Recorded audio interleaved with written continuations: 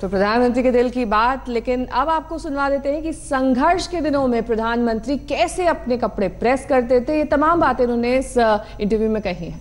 और ये कहानी सुनकर आप समझ जाएँगे कि किन मुश्किल हालात से मोदी आगे निकले हैं और कामयाबी के शिखर तक पहुँचे हैं। आपका एक फ़ैशन स्टेटमेंट बहुत बढ़िया है मतलब दाढ़ी वाड़ी एकदम सही किया हुआ। और मतलब कभी कभी मैं देखता हूँ आप हाफ़ स्लीव कुर्ता पहनते हैं ज़्यादा करके हाफ़ स्लीव कुर्ता पहनते हैं।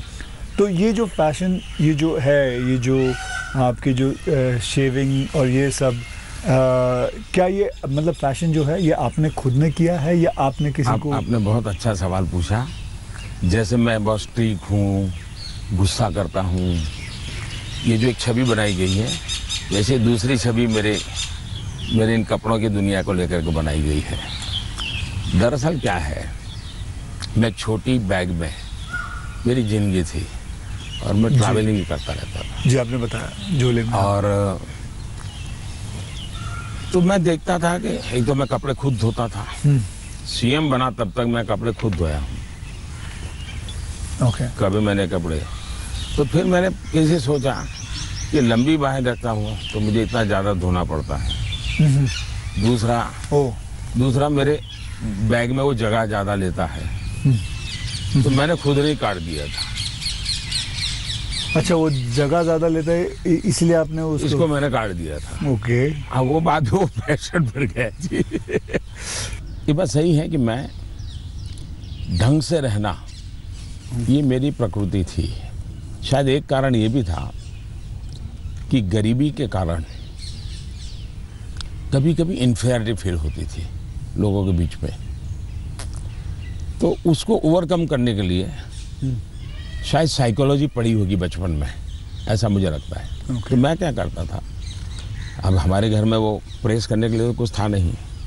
तो मैं ये बर्तन का जो लोटा रहता है उसमें कोयला भर देता था गर्म कोयला। और उसी से कपड़ों को प्रेस करता था। और पहन के जाता था। लेकिन जूते नहीं थे। तो मेरे एक मामा एक दिन आए घर पे। तो पता नहीं उनका मन कर गया तो उन्होंने मेरे लिए जूते ला दिए। तो एक कैनवास के सफ़ेद जूते हैं ना? जी। हाँ छोटे से शायद उस समय तो आठ दस रुपये मिलते होंगे। वो ले आए। तो मैंने देखा थोड़े दिन में तो वो गंदे होना शुरू हो गए। तो मैं क्या करता था? क्लासरूम में सब बच्चे चले जाते थे। मैं रुका रहता था।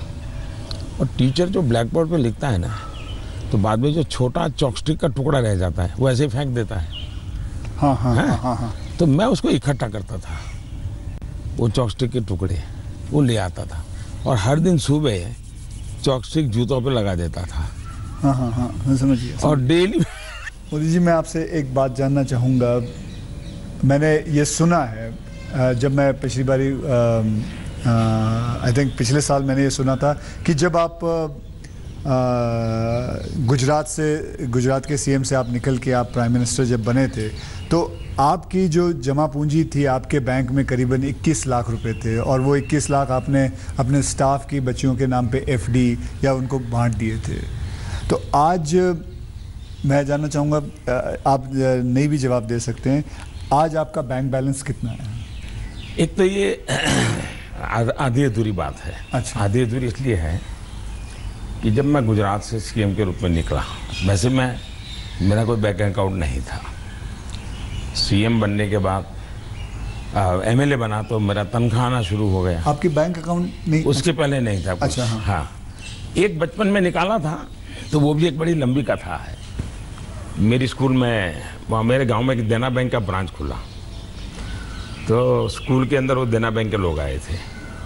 उन्होंने सब बच्चों को एक गुल्लड़ देते? कुल्लड़ बोलते? हाँ, हाँ, गुल्लक, गुल्लक, गुल्लक। गुल्लक। दिया।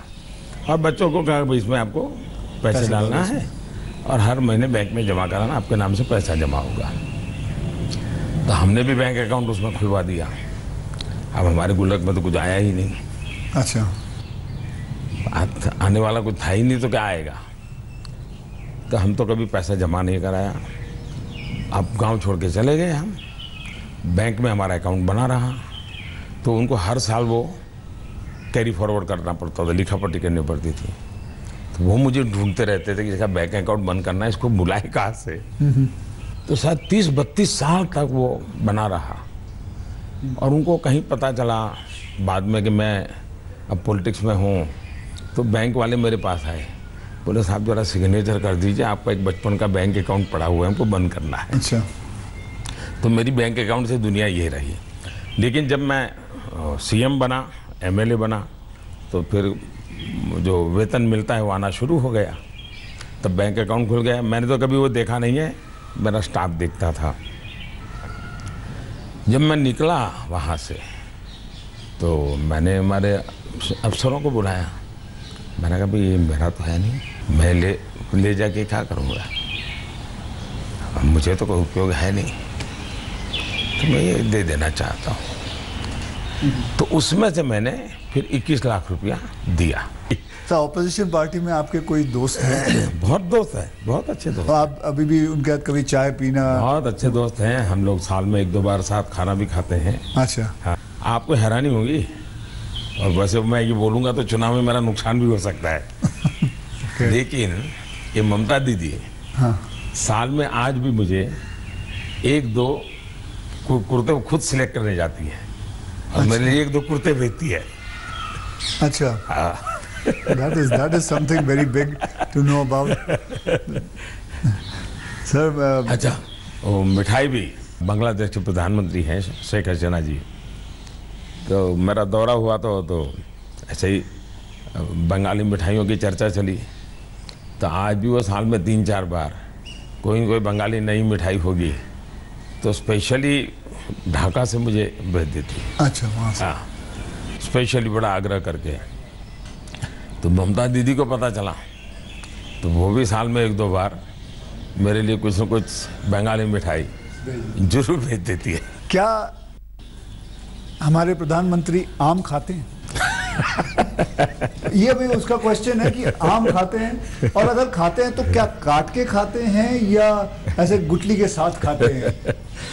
मगर होता है ना वॉश बेसिन के ऊपर खड़े होके गुटली के साथ आम खाना उसका मज़ा ही कुछ और होता है। तो मैं जानना चाहूँगा कि आप आम खाते हो सर? एक तो मैं आम खाता भी हूँ और आम खाना मुझे बहुत पसंद भी है। अच्छा। और गुजरात में आम रस की परंपरा भी है। वो तो बहुत लेकिन जब मैं छोटा था तो वैसे तो कोई आम वाम खरीदना वरीदना तो हमारे लिए कोई उस प्रकार की कोई लग्जरी हमारे फैमिली थी नहीं। लेकिन कभी खेतों में चले जाते थे तो हमारा देश का जो किसान है बड़ा उदार रहता है। कोई खेत में आकर के खाता है तो कभी रोकता नहीं है। चोरी करता है तो रोकता है। हाँ, तो आम के पेड़ पर जो पकी हुई आम थे वो खाना हमें ज़रा ज़्यादा पसंद था। यानी उतारने के बाद पकाया हुआ नहीं नेचुरल कोर्स में पका हुआ। और फिर पूरा का पूरा अच्छा तब तो ये हाइजेनिक की कोई समझ भी नहीं थी कि धोना चाहिए टिकना करना कुछ नहीं समझते थे। मतलब ऐसा ही अपना कर लेते थे। लेकिन बाद में जैसे जैसे बड़े तो कई वैरायटियों के विषय में जानने लगे आम रस खाने की आदत लगी। लेकिन इन दोनों मुझे कंट्रोल करना पड़ता है। अच्छा अभी फ़िलहाल कंट्रोल अब फ़िलहाल में मुझे सोचना पड़ता है कि इतना खाऊं या न खाऊं।